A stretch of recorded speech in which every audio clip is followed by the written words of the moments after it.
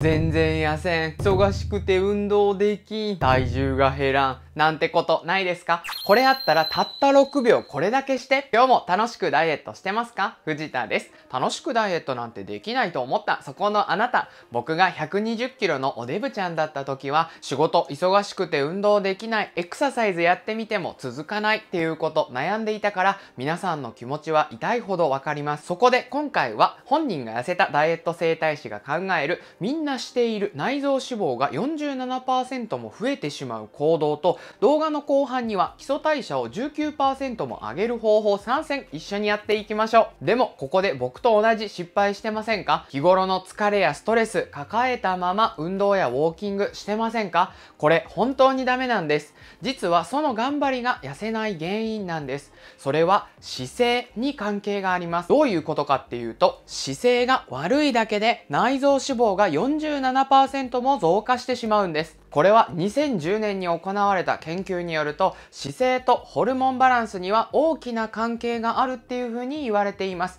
これは42人の男女、女性26名、男性16名を対象に行われた研究になります。この人たちを21人ずつランダムにハイパワーポーズ、胸を張って手を広げた姿勢をとってもらった人、もう片方はローパワーポーズ、背中を丸めて手足を縮こまらせた姿勢を取らしたグループ、この2つに分けて1分間このポーズをとってもらったんです。このポーズをとった直前と直後にですね、唾液を摂取するんです。その唾液からテストステロンとコルチゾールっていうのを測っていきます。このテストステロンっていうのは男性ホルモンって言われていて筋肉をつけるために必要なホルモンです。男性ホルモンだから女性関係ないんじゃないのって思いますよね。そんなことなくて女性にも筋肉を増やしていくっていう作用があるんですね。またもう一つのホルモンコルチゾールっていうのはストレスに関係があってこのコルチゾールが増えてしまうと筋肉を減らして脂肪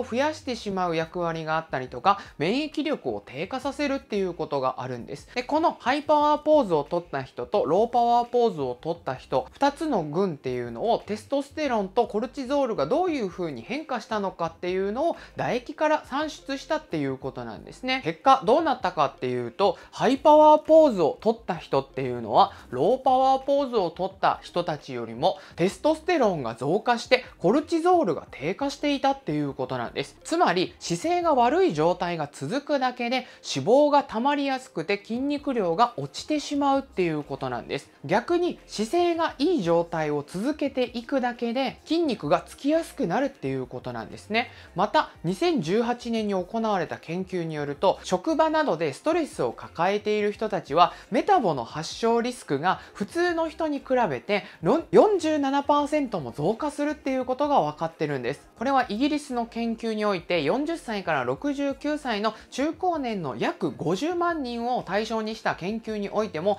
肥満や過体重っていうのはうつ症状を引き起こして幸福感を低下させることが改めて明らかになっており身体的要因と社会的なストレスっていう両方がこの肥満に影響しているっていうことが分かってるんです。つまりこの姿勢とメンタルそして肥満にはかなり関係があるっていうことが言われているんですね。そうなるとせっかく運動を一生懸命頑張っているのに日常生活の中でストレスを溜めていたりとか姿勢が悪い状態が続くだけで内臓脂肪が溜まって太りやすくなるしメンタルが落ち込んでいくっていうことなんです。なのでこの動画の中では生活スタイルに合わせた基礎代謝を19%も上げる方法3選ということで早速一緒にやっていきましょう。基礎代謝を19%も上げる方法3選。まず1つ目っていうのは家事をしながらできる方法。それはゆっくりスクワットをしていくっていう方法になるんです。これはどうしていいかっていうとこれだけでテストステロンの値が上がっていって基礎代謝が上がっていくよっていうことなんですね。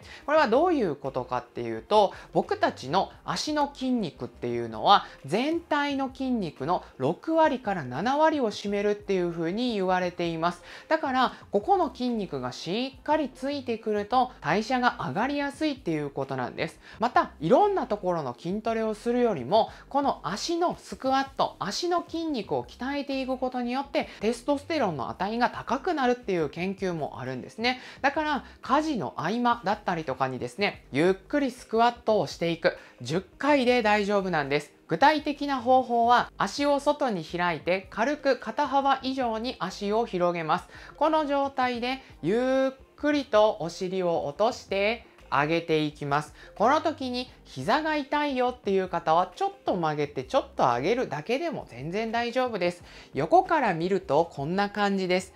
ゆっくりお尻を落として上げていく。この状態がしんどい人はちょっと曲げてちょっと上げる。これでも大丈夫なんです。これを10回ゆっくりやってみてください。それでは10回一緒にゆっくりやってみましょう。それではいきます。足を肩幅に開いてつま先を少し広げます。この状態でゆっくりスクワットして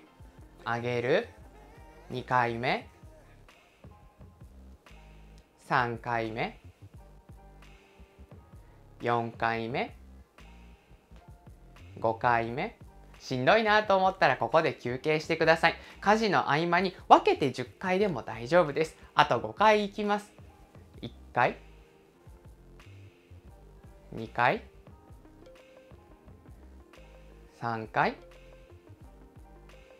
4回。5回。はい、OK です。この10回のスクワットをしただけで手足がぬくくなってくるっていうことを感じることができたら代謝が上がっているっていうことなので、ぜひお試しいただきたい方法になります。なので、基礎代謝を19%も上げる方法3選。まず1つ目は、ゆっくりスクワットやっていきましょうっていう方法になります。続いて、基礎代謝を19%も上げる方法3選。2つ目は、座りながら痩せる方法になります。この方法は、座りながらお尻を揺らすだけになるんです。実際に座りりながら一緒にやっていきましょう。それでは実際に座った状態でお尻を揺らす方法をやっていきましょう。これがなぜいいのかっていうと、このお尻を支える面積っていうのを増やしていくことができるんだっていうことなんですね。どういうことかっていうと腰が痛いだったりとか姿勢が悪い状態っていうのはこの体を支える面積が小さくなっているのでやじろべえのような体の形になってしまいます。このやじろべえのような形だと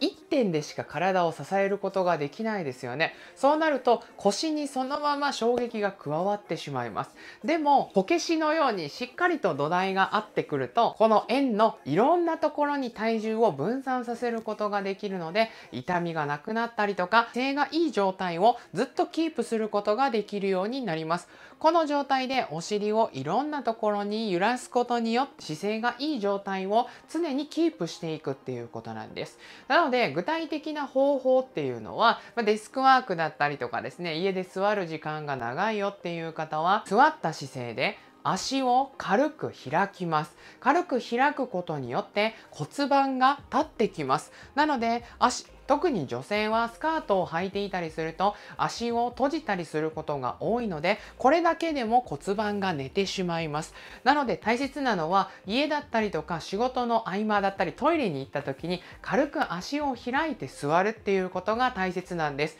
これだけでも骨盤が立ってきて姿勢がいい状態をキープできます。このエクササイズの時に大切なのは骨盤をしっかり立ててあげて横に体重を移動する。円を描くように体重を移動する。いろんな方向に体重をかけてあげて体を支える面積を広くとってあげましょうっていう方法になってくるんです。これを30秒でいいので一緒にやっていきましょう。それではいきます。よーい。はい。では足を軽く開いた状態。肩幅から少し開いた状態で骨盤が立ってきます。その状態で左右に体重を移動してみる。次に前後に体重を移動してみる。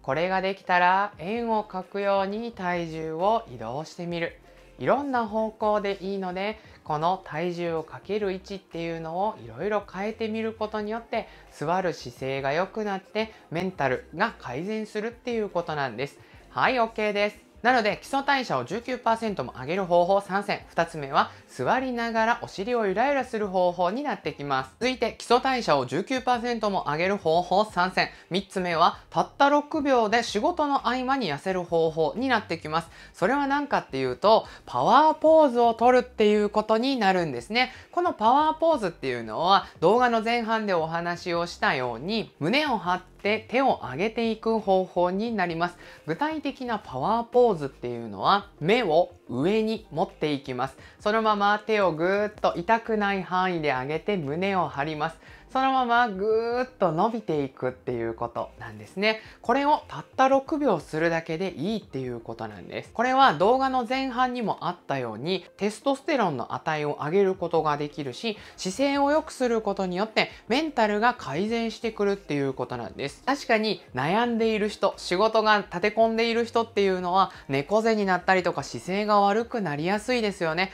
どうしても悩んでいる人ってこういう姿勢とっているっていうことをよく見ると思います。それとは逆にサッカーでゴールを決めた選手っていうのはうおーって伸びてますよねだからこのように姿勢だけでもテストステロンの値が変わって基礎代謝が上がるだけではなくてメンタルまで改善させるっていうことが言われているんですこれは身体心理学っていう分野でもう分かっているっていうことなんですねまたこのなぜ6秒なのかっていうとこの6秒にはアンガーマネージメントっていうのが関わってきます。僕たちは気分を変える時に6秒あればいいっていうことなんです。だから6秒間好きなことをしたりとか違うことを考えたり姿勢がいい状態っていうのをキープするだけでもメンタルは変わりやすくなるっていうことなんですね。だからこのハイパワーポーズ、目を上に上げて肩を上げて、そして胸を張るっていういいポーズ、楽しいなっていうポーズを6秒間とって自分の好きなことを考えるだけでメンタルが改善して基礎代謝も上がって、そして脂肪がつきにくい体になってくるっていうことなんですね。だから仕事の合間の休憩だったりは、このハイパワーポーズを取ることによって脂肪燃焼していきましょうっていうことなんです。なので基礎代謝を19%も上げる方法3選。3つ目はパワーポーズになってきます。どうだったでしょうか？今回は内臓脂肪が47%も増えてしまう行動と基礎代謝を19%も上げる方法3選というテーマでお話をしていきました。今あなたがしている行動が本当に続くものなのかどうか考えるヒントに僕の動画がなっていれば嬉しいです。またこのチャンネルではたった1週間で痩せる体質を作る具体的な方法やゆるくダイエットが習慣になる方法を紹介しています。気になるなっていう方は見逃しないようにチャンネル登録と横のベルボタン押しとってください。それではまた。バイバーイ。